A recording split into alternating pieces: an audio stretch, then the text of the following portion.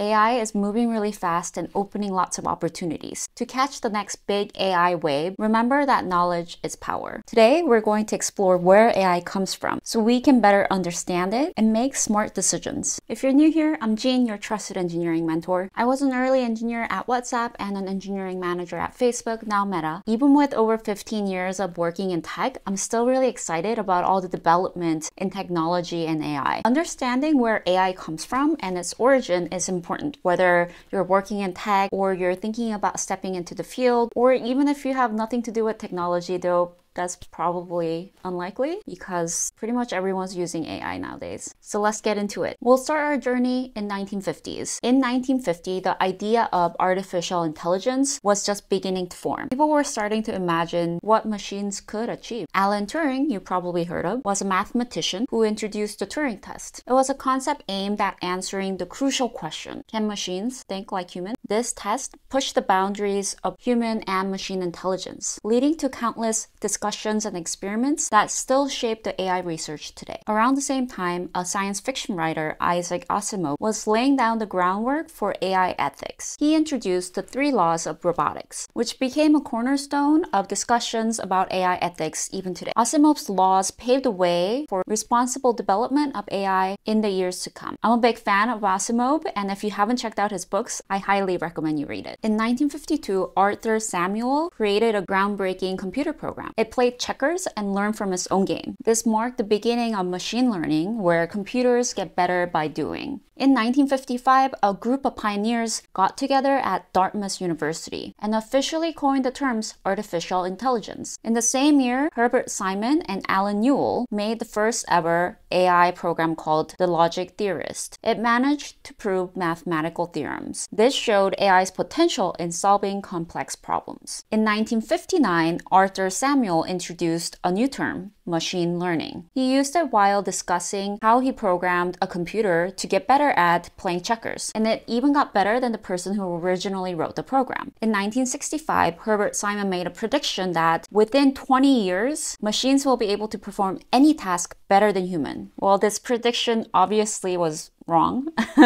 it's been 60 years, and I don't think machines are quite better at humans in everything yet. You know, predicting the future is really tough, especially when it comes to complex things like technology and society. Even the smartest people can't always get it right. Our knowledge is limited, and we make assumptions based on what we know. But the future is full of changes, new ideas, and that makes it really tricky to make an accurate prediction of the future. So instead of trying to be a crystal ball expert, it's often better to be prepared for different types of possibilities. That means thinking about different scenarios, being adaptable, and ready to respond to whatever's thrown your way. It's a practical way to navigate the uncertainties of life. Let's go back to the history. In 1966, Joseph Weizenbaum created Eliza, an interactive chatbot. His initial goal was to highlight the limitations of communication between human and machines. But surprisingly, many people thought it was actually pretty good. Again, terrible predictions. This is around the time we start seeing more general purpose use cases of AI and robots. In the same year, in 1966,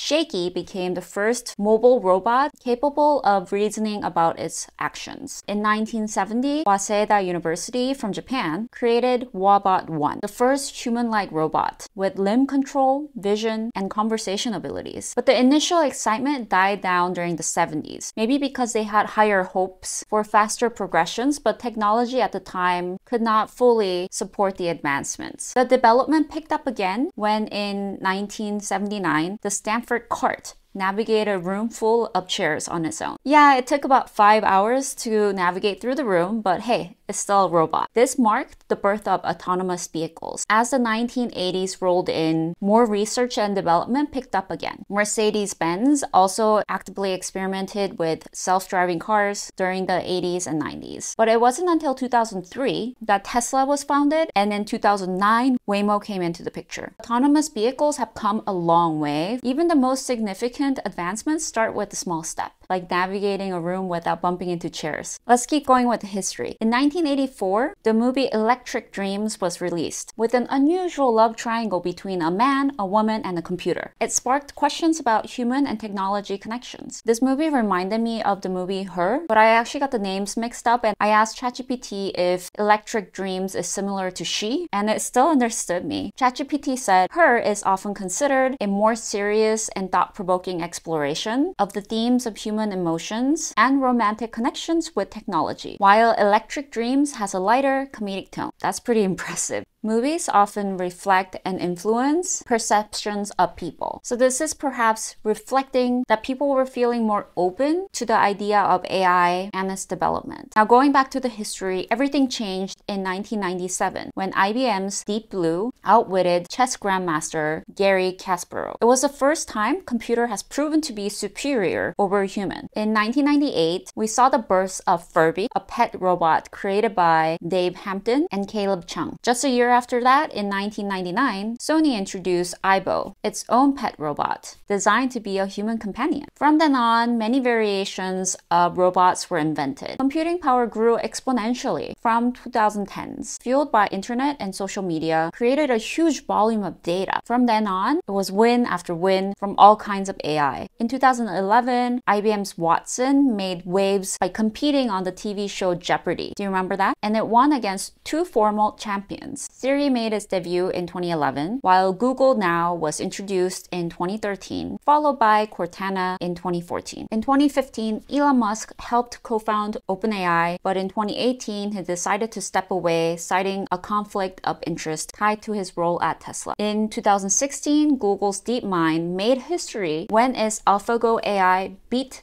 the Go champion Lee Sedol. Go is a traditional game that's far more complicated than chess. In 2017, Google researchers introduced the transformers in their paper, Attention is All You Need, which really inspired further research into tools for parsing untagged text into large language models. In 2018, OpenAI introduced GPT, followed by GPT-3 in 2020, and DALL-E in 2021, known for its ability to create images from text. Midjourney was also founded in 2021, but really got popular when the Colorado State Fair awarded a digital artwork generated by Midjourney with the first place honor in the digital art category. The artwork was mind blowing. I've experimented with Midjourney in the past. It was far better than DALL-E, at least until GPT-4 launched recently. I know everyone's super excited about the newest OpenAI announcements, and I am also excited to try them out. I've been in Silicon Valley since 1999. I'm exposed to a lot of news working in tech for over 15 years. I don't often get excited about a lot of announcements, but when I did watch the OpenAI's keynote, I was eager to try out the new features and the capabilities and the APIs. If you guys are interested or have questions about any of it, please leave comments, ask me questions, and I would love to make videos about them so we can explore these exciting new opportunities together. Looking ahead to the future, AI is going to affect many things like how businesses work, how we make things, healthcare, money, marketing, schools, farming, laws, computers, keeping things safe, and how we get around. Experts say that focus on making AI transparent and secure will be the key determination of success and acceptance in the future. These things are not only going to impact people in tech, but everybody in the world. Marvin Minsky, who is often regarded as one of the founding fathers of AI, said in his book